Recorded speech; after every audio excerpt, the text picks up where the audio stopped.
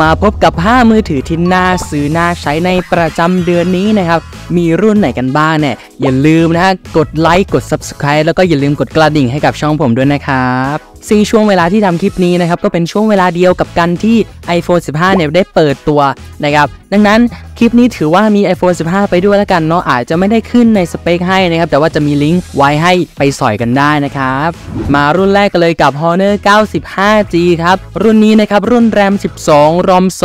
256 เนี่ย ราคาอยู่ที่ 13,999 บาท ก็จะเป็นมือถือเหมาะสำหรับคนที่ชอบถ่ายรูปนะครับแล้วก็ชอบความคุ้มค่า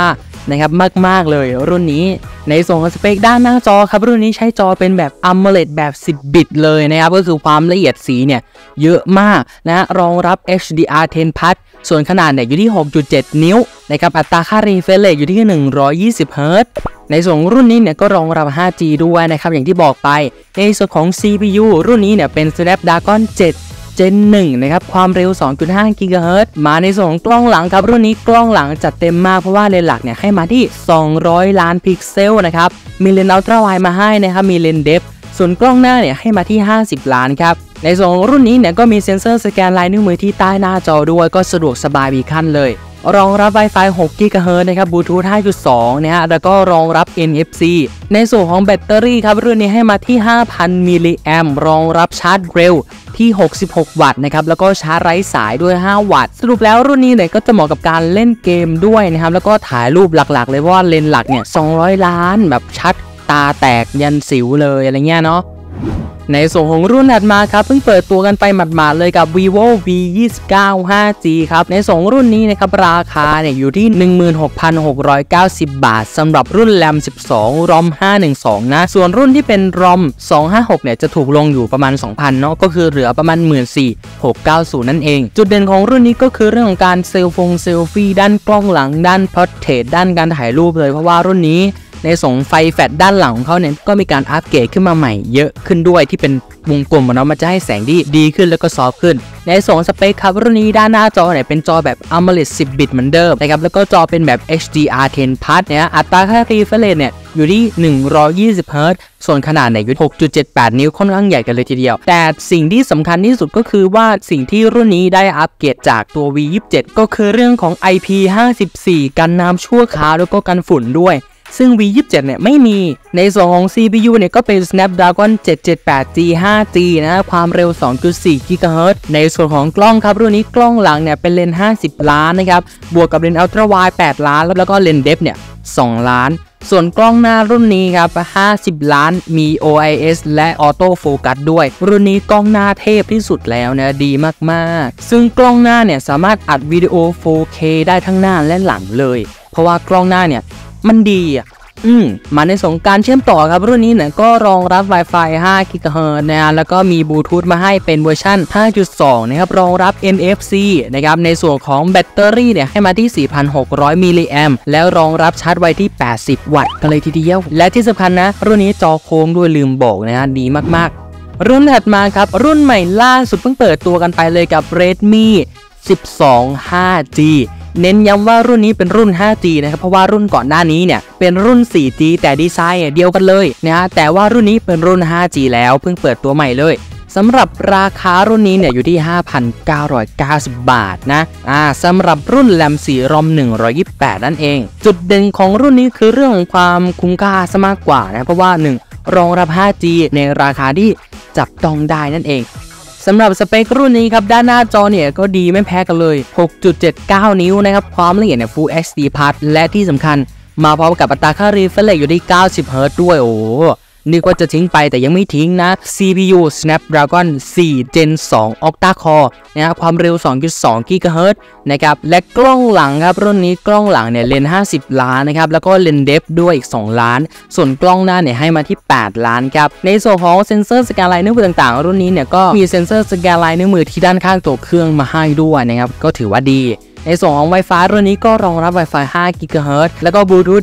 5.2 มี IR Blaster ก็คือเป็นรีโมทให้กับอุปกรณ์ต่างๆ ได้นะครับ แล้วก็รองรับ NFC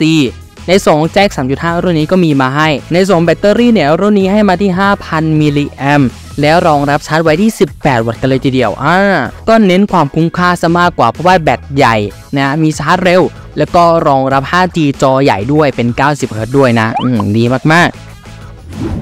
รุ่นถัดมาครับกับ Realme C51 ครับรุ่นนี้ก็เพิ่งเปิดตัวไปเมื่อวันที่ 8 ที่ผ่านมานี่เองสำหรับรุ่นนี้นะครับถูกลงไปอีกก็คือ RAM 4 ROM 64 เนี่ย ราคา 3,999 บาท ซึ่งรุ่นนี้ก็จะเหมาะกับคนที่ใช้งานทั่วไปเนี่ยเพราะว่ารุ่นนี้เนี่ยแบตใหญ่นะครับแล้วก็เรื่องของความคุ้มค่าอะไรอย่างนี้เนาะในส่วนของสเปครุ่นนี้ครับด้านหน้าจอเนี่ยก็ใหญ่เลย 6.74 นิ้วเลยนะครับความละเอียดเนี่ย HD Plus และที่สำคัญรุ่นนี้มาพร้อมกับอัตราค่า refresh rate 90 Hz ด้วยดีมากนะฮะ โอ้โห เลิศเกินนะ ในส่ง CPU ครับ รุ่นนี้เนี่ยเป็น Unisoc Tiger T612 เนี่ย Octa Core และในส่วนกล้องหลังครับ รุ่นนี้เป็นกล้องหลังคู่เลนส์หลัก 50 ล้าน แล้วก็เลนส์ depth เนี่ยอีก 0.08 ล้านนะครับ ส่วนกล้องหน้าเนี่ยให้มาที่ 5 ล้านเนาะ ในส่วนเซนเซอร์รุ่นนี้ก็มีเซนเซอร์สแกนลายนิ้วมือด้วยนะครับที่ด้านข้างตัวเครื่องนั่นเองนะในส่ง Wi-Fi รุ่นนี้ก็รองรับ Wi-Fi 5 GHz นะครับรองรับบลูทูธ5.0 นะครับในส่วนของแบตเตอรี่เนี่ยรุ่นนี้ให้แบตเตอรี่มาที่ 5,000 มิลลิแอมป์และที่สำคัญชาร์จเร็ว 33 วัตต์ โอ้โห ไม่เกิน 4,000 ได้ชาร์จไว 33 วัตต์เลยเลอแกก็เลิศเกินนะ รุ่นนี้ก็จะเหมาะกับความคุ้มค่าเลยเพราะว่าแบตใหญ่ชาร์จเร็วนะ จอใหญ่ด้วยไม่ถึง 4,000 อะ Infinix Zero 35G ครับ รุ่นนี้เปิดราคาไทยแล้วอยู่ที่ 10,000 1,999 บาทสำหรับรุ่นที่เป็น RAM 12 แล้วก็ Storage เนี่ย 256 นะครับ ถือว่าเป็นอีกหนึ่งรุ่นที่ ดีไซน์สวยเน้นความพรีเมียม ความแรงของตัวเครื่องด้วยในเลทราคาคือเน้นคุ้มค่าเอาว่าง่ายๆเนี่ยในส่วนของสเปครุ่นนี้ครับถือว่าโดดเด่นเลยเพราะว่าด้านหน้าจอเนี่ยเป็นจอแบบ AMOLED นะครับ ขนาดเนี่ยอยู่ที่ 6.78 นิ้วนะ เป็นแบบ AMOLED 10 บิตเนี่ยอัตราค่า refresh rate เนี่ยสูงถึง 144 Hz แล้วก็ความละเอียดอยู่ที่ Full HD พันและที่สำคัญรุ่นนี้ได้ความหรูหราอย่างแน่นอนเพราะว่าจอเป็นแบบโค้ง 3D 60 องศาเลยทีเดียวก็ขอบโค้งสวยละมุนในส่วนของ CPU เดี๋ยวรุ่นนี้ก็รันด้วย Dimensity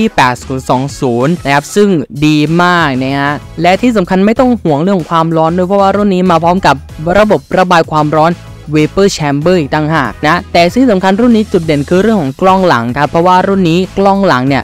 108 ล้านเป็นเซนเซอร์ของ Samsung HM6 มี OIS นะครับ มีเลนส์ Ultra Wide 13 ล้าน แล้วก็เลนส์ Depth เนี่ย 2 ล้าน ส่วนกล้องหน้าเนี่ยก็ไม่ธรรมดานะครับ เพราะว่าเป็นเลนส์ 50 ล้าน ของ ISO Cell JN1 ของ Samsung อีกแล้วนะฮะ ก็คือถ่าย 4K 60 เฟรมได้กล้องหน้า เออ ส่วนการเชื่อมต่อนะ รุ่นนี้ก็รองรับ 5G เนาะ แล้วก็รองรับ Wi-Fi 6 GHz และก็มี NFC มาให้นะครับ ในส่งฟิงก็เป็นเนี่ยรุ่นนี้ก็เลิศเหมือนกัน เพราะว่ารุ่นนี้ให้มาเป็นแบบใต้หน้าต่อนะฮะ ส่วนของรุ่นนี้เนี่ยก็มี IP53 ด้วยกันน้ำชั่วคราวแล้วก็กันฝุ่นเนาะส่วนของแบตเตอรี่เนี่ยให้มาที่ 5,000 มิลลิแอมแล้วรองรับชาร์จไว้ที่ 68 วัตต์ครับก็ถือว่าเป็นอีกหนึ่งรุ่นที่น่าสนใจเลยเพราะว่าเรื่องของดีไซน์เนี่ยก็สวยเน้นความคุ้มค่าด้านการถ่ายรูปถ่ายวิดีโอนะรุ่นนี้เด็ดจริง